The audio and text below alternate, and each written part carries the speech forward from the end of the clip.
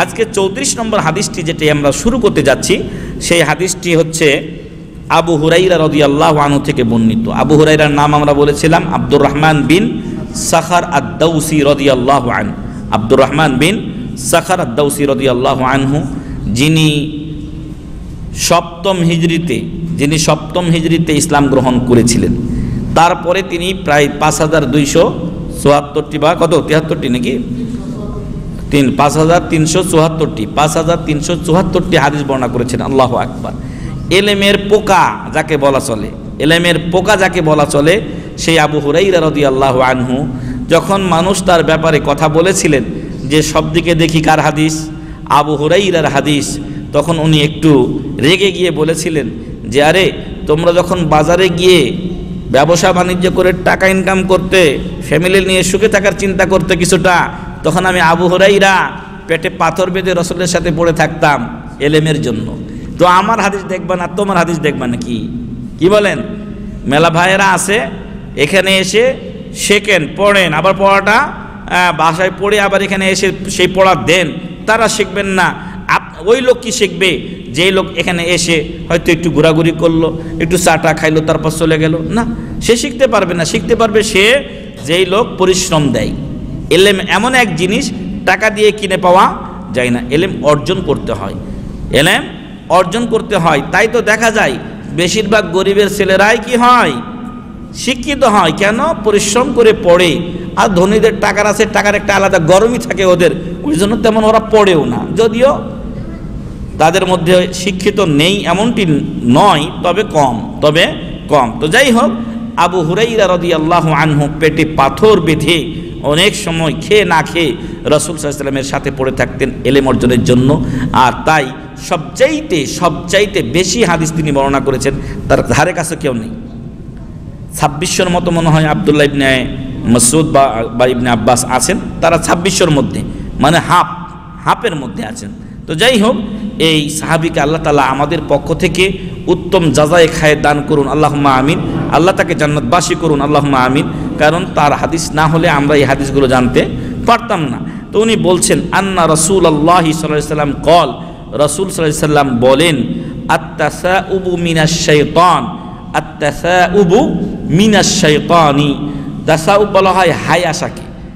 High আমরা অনেক সময় একটু ক্লান্ত হয়ে গেলে, অনেক সময় একই মজলিসে দীর্ঘক্ষণ থাকলে কি আসে? হাই আসে। তো এই হাইটা কার পক্ষ থেকে আসে? মিনাশ শৈতানি শৈতানের পক্ষ থেকে আসে। ফাইদা তাসাআবা আহাদুকুম ফালইয়াকজিম মাস্তাতা একটু আগে আমাদের ভাইয়েরা রাগ সংযত করার আয়াত পড়ছিলেন, ওয়াল কাজিমিনাল ওয়াল কাজিমিনাল গাইজ। হ্যাঁ যারা রাগ সংযত করে কাজিম এই কাজম থেকে একজিম শব্দটা ব্যবহার হয়েছে। হ্যাঁ তো বলছে ফাইদা তাসাআবা আহাদুকুম। অতএব তোমাদের কারও যখন হাই আসে। একটু আগে কি বলছে? হাই কার পক্ষ থেকে আসে?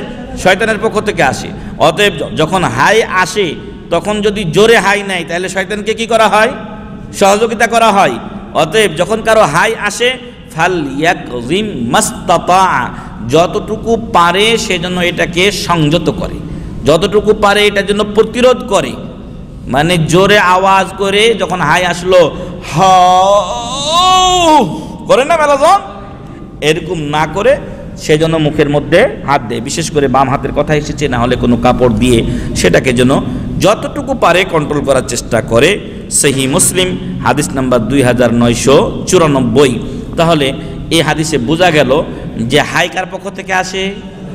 শয়তানের পক্ষ থেকে আসে। কারও হাই আসলে কি করব? যথাসাধ্য কন্ট্রোল করার চেষ্টা করব। এখানে এক নম্বরে আপনাদের লিখেছে হাদিসের শিক্ষণীয় বিষয়ে, বাম হাত দিয়ে অথবা কোনো রুমাল ইত্যাদি দ্বারা হাই রোধ করার প্রতি খেয়াল রাখা উচিত। দুই নম্বরে লিখেছে, সব ক্ষেত্রে বা বিষয়ে ইসলামী আদব কায়দা আঁকড়ে ধরে থাকা শ্রেষ্ঠতর চরিত্রে, চরিত্র গুণাবলীর গুণাবলী অবলম্বন করার চিহ্ন। তো এটা একটা ছোট জিনিস, তাই না? এটা একটা ছোট বিষয়। তো ছোট বিষয়কে তুচ্ছ মনে করা যাবে না। আল্লাহ রসুল সাল্লাম বলছেন, লা তাহকেরান্না মিনাল মারুফি সেই আ ভালো কাজের কোনোটাকে তুচ্ছ মনে করিও না। হতে পারে ছোট্ট একটা কাজ, কিন্তু ওটাতেই আল্লাহ খুশি হয়ে তোমাকে নাজাদ দিতে পারেন। আপনারা জানেন রসুল সাল্লাম বলছেন যে একটা পথের একটা ডাল কেটে ফেলার কারণে বা গাছ কেটে ফেলার কারণে যেটা মানুষকে কষ্ট দিচ্ছিল, আল্লাহ একটা লোককে জান্নাতে দিয়েছেন, রসুল ওই লোকটাকে জান্নাতে গড়াগড়ি খেতে দেখেছেন। একটা নষ্ট মহিলা নষ্টা মহিলা এটা কুকুরকে পানি পান করার কারণে কি করল? তাকে আল্লাহ মাফ করলেন, জান্নাতে দিয়ে দিলেন। আবার একটা মহিলা একটা বিড়ালকে বেঁধে রাখল। কাজটা কিন্তু খুব কঠিন, বড় বেশি মনে হতো না। কিন্তু এটা খারাপ কাজ ছিল এই জন্য খারাপ কাজকেও তুচ্ছ মনে করতে নাই। কারণ ওই খারাপ কাজটাই আপনার জাহান নামে যাওয়ার কারণ হয়ে যেতে পারে। মমিন ব্যক্তি তার গুনাকে মনে করে পাহাড় সম। পাহাড় সম যার নিচে সে দাঁড়িয়ে আছে। আপনার উপরে পাহাড় আর নিচে আপনি দাঁড়িয়ে আছেন। আপনার গুণাটাকে আপনি পাহাড় সম মনে করছেন। যে কোনো গুনার কারণে আপনি ধ্বংস হয়ে যেতে পারেন। আপনি শাস্তির সম্মুখীন হতে পারেন। এটা মমিনের ধারণা, মমিনের কল্পনা। আর পাপিষ্ট লোকের কল্পনা কি জানেন? ও গুনাকে মনে করে মাসির মতো। গুনাকে কি মনে করে? মাসির মতো মনে করে যে এটা তার নাকের কাছে, উপরে, নাকের উপরে বসে। নাকের উপরে বসলে মাসিকে কি করেন আপনি? তাড়িয়ে দেন। তো এটা গুণ পাপ হলো নাকি? এটা কোনো পাপ হলো? কিছুই না। কি করছিস? কয়, একটা মার্ডার করছিস ধর, একটা murder। কত মার্ডার করলাম? এই হলো পাপিষ্ট লোকের কথা। তো ভালো কাজকেও তুচ্ছ মনে করবেন না, আর গুনাকে ছোট মনে করবেন না। কারণ ছোট্ট একটা পাপেও আপনার জাহান নাম অজেব হয়ে যেতে পারে। তো এই জন্য এই ছোট ছোট যে বিষয়গুলো, আদব, কায়দা, শিষ্টাচার, ছোট থেকেই তো মানুষ বড় হয় নাকি? ছোটটা যে রপ্ত করতে পারে না, সে বড়টা রপ্ত করবে কি করে? আল্লাহ তার আল্লাহ রসুল সাল্লাম বলছেন মাল্লাম ইয়াশকুরিন নাস, লাম ইয়াশকুরিল্লাহ। যে মানুষের সামান্য অবদানের শুক্রিয়া আদা করতে পারে না, আল্লাহর বিশাল অবদানের শুক্রিয়া সে কী করে আদা করবে? তো এই জন্য ছোট থেকেই আমাদেরকে শিখতে হবে। এক পা এক পা করে, ছোট একটা একটা করে আদব কায়দা এগুলো রপ্ত করতে হবে। তো আমরা যখন হাই তুলব, তখন এটাকে কি করব? সংযত রাখার চেষ্টা করব। তিন নম্বরে বলা হয়েছে যে, অধিক পানাহার না করাই উত্তম। কারণ হাই কখন আসে? যখন মানুষ বেশি খায়। কেননা তা হচ্ছে শরীর ভারী রাখার ও অলসতার উৎস। মানুষ যখন বেশি খায়, তখন বেশি ঘুম ধরে। বেশি খাইলে বেশি ঘুম ধরে। আর ঘুম ধরলে কি আসে? হাই আসে এই জন্য কম খেতে হবে। আর কম বলতে এমন কম নয় যে আপনি দুর্বল হয়ে যান, যেটা আপনার জন্য যথেষ্ট পরিমাণ সেটা খাবেন। কিন্তু আমরা প্রত্যেকেই, আমি বলবি আপনিও সাধারণ সবারই প্রায় একই অবস্থা।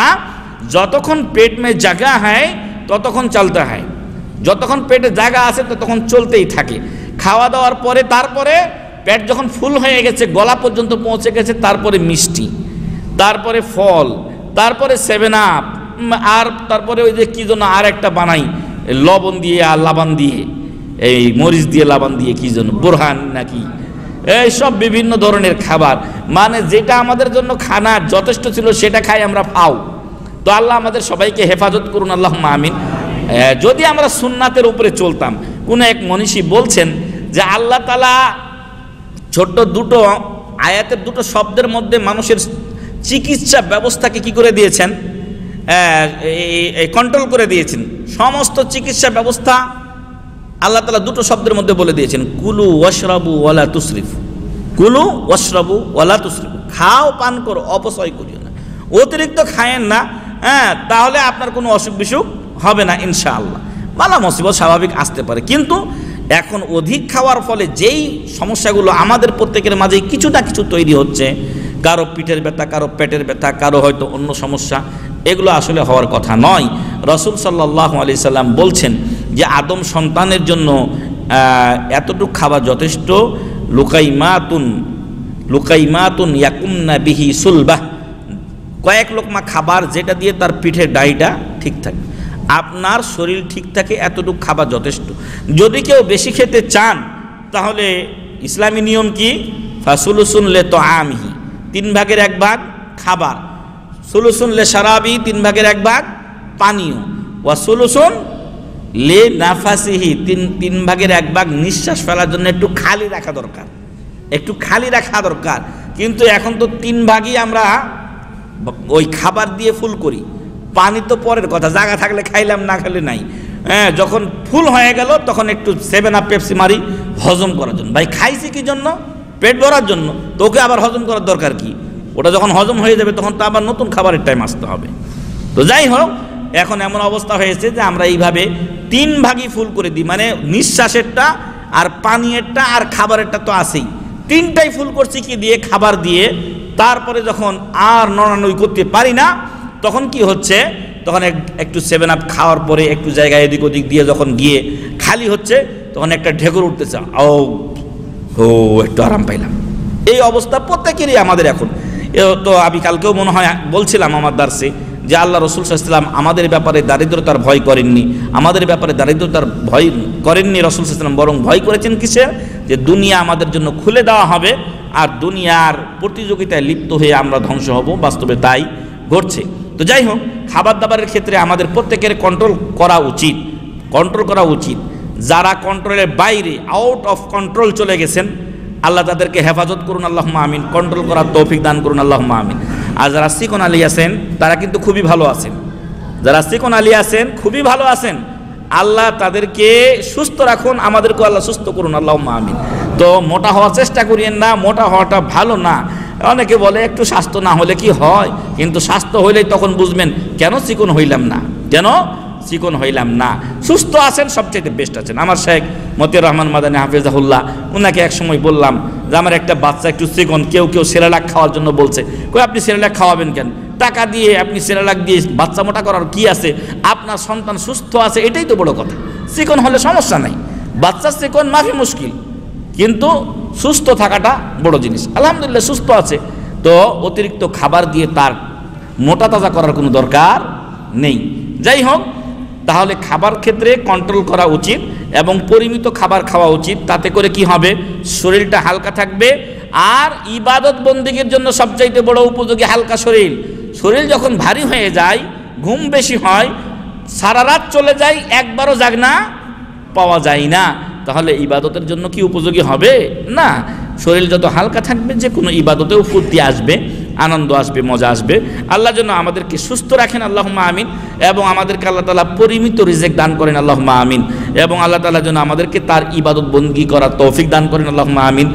হায়ের ক্ষেত্রে যেই নিয়ম আমরা পড়লাম যে হাই আসলে সেটা শয়তানের পক্ষ থেকে আসে, সেটাকে কন্ট্রোল করা উচিত। আল্লাহ যেন এর উপরে আমাদেরকে আমল করার তৌফিক দান করেন আল্লাহ আমিন।